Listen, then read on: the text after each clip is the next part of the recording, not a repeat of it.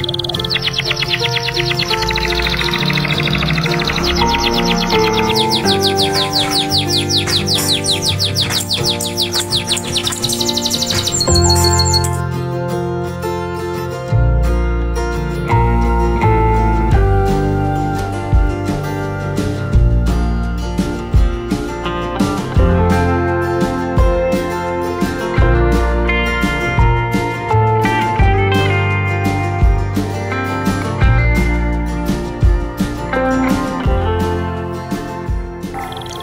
Burung kenari dengan keindahan dan keceriaan alaminya menjadi salah satu pilihan populer bagi para pencinta burung di Indonesia.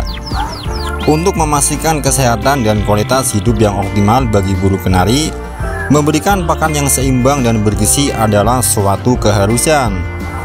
Selain biji-bijian, penggunaan daun herbal juga memberikan kontribusi terhadap kesehatan dan performa burung kenari. Daun herbal memiliki manfaat yang baik untuk stamina dan kesehatan tubuh. Selain biasa digunakan untuk manusia, beberapa jenis tanaman herbal juga dapat diberikan kepada burung piaraan Anda, terutama burung kenari. Jenis daun herbal tersebut dipercaya dapat meningkatkan stamina, menjaga daya tahan tubuh, hingga sebagai obat berbagai penyakit untuk burung kenari. Di video kali ini saya akan berbagi informasi mengenai 9 jenis daun herbal yang bermanfaat untuk burung kenari.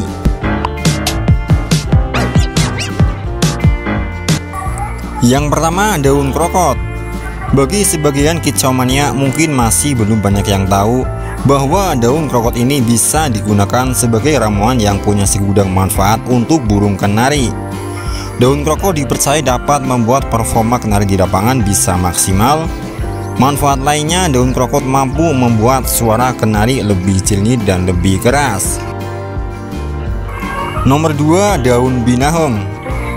Daun binahong merupakan jenis daun herbal yang tidak hanya bermanfaat untuk kesehatan manusia, tetapi juga bisa digunakan untuk burung kenari. Salah satunya dapat mendongkrak suara kenari agar cepat gacor dan ngerol.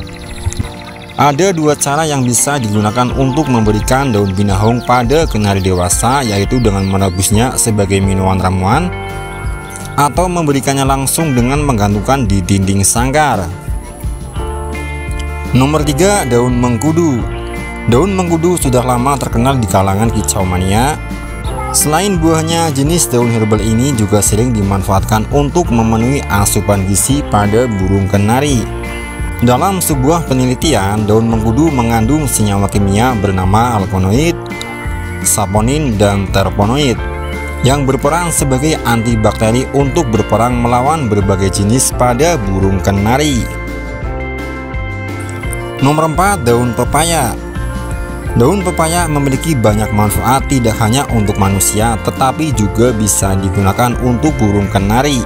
Daun pepaya memiliki kandungan vitamin A, B, dan C, protein, dan kalsium, hingga lemak yang baik untuk memenuhi kebutuhan nutrisi pada burung kenari. Cara memberikannya, ambil daun pepaya yang masih muda, kemudian dibersihkan dan bisa langsung diberikan kepada burung kenari Anda. Daun pepaya juga dipercaya dapat meningkatkan nafsu makan, mengobati penyakit tetalo hingga cacingan pada burung kenari. Nomor 5 daun salam. Daun salam tidak hanya terkenal sebagai rempah tetapi juga berguna sebagai daun herbal untuk kesehatan burung kenari. Rebusan daun salam dapat membersihkan paru-paru burung kenari dari berbagai macam radikal bebas sehingga mampu melancarkan pernapasan burung kenari. Akibatnya kenari Anda bisa gasor dan ngerol panjang. Nomor 6 daun kemangi Daun kemangi dikenal sebagai lalaban atau salah satu bahan masakan. Ternyata daun yang memiliki aroma sangat khas ini juga banyak dimanfaat kicau mania untuk burung piraan terutama burung kenari. Manfaat daun kemangi yang sudah dibuktikan para kicau mania antara lain mengatasi burung yang overbirahi, menyembuhkan burung yang masuk angin, mengatasi induk burung kenari yang kurang produktif, Selain dijadikan pakan, daun kemangi juga dapat digunakan sebagai obat terutama untuk mengatasi aneka masalah pada kaki burung kenari seperti kaki burung bengkak akibat gigitan serangga, Dan bubulan dapat diobati dengan menempelkan daun kemangi di burung kenari Anda. Nomor 7 daun ginseng Jawa.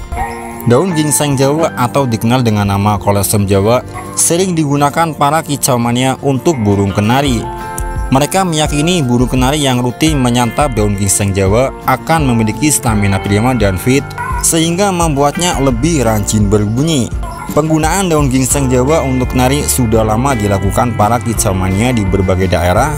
Meski belum ada penelitian ilmiah mengenai kemanfaatnya, banyak kicau mania meyakini betul tanaman ini ampuh dalam meningkatkan daya tahan dan stamina burung kenari. Nomor 8 daun dewa. Masyarakat Indonesia sejak dulu meyakini bahwa daun dewa sangat ampuh untuk mengobati aneka macam penyakit yang diderita oleh manusia. Rupanya daun dewa juga bisa dijadikan pakan tambahan untuk burung kenari. Berikut ini beberapa manfaat daun dewa untuk burung kenari.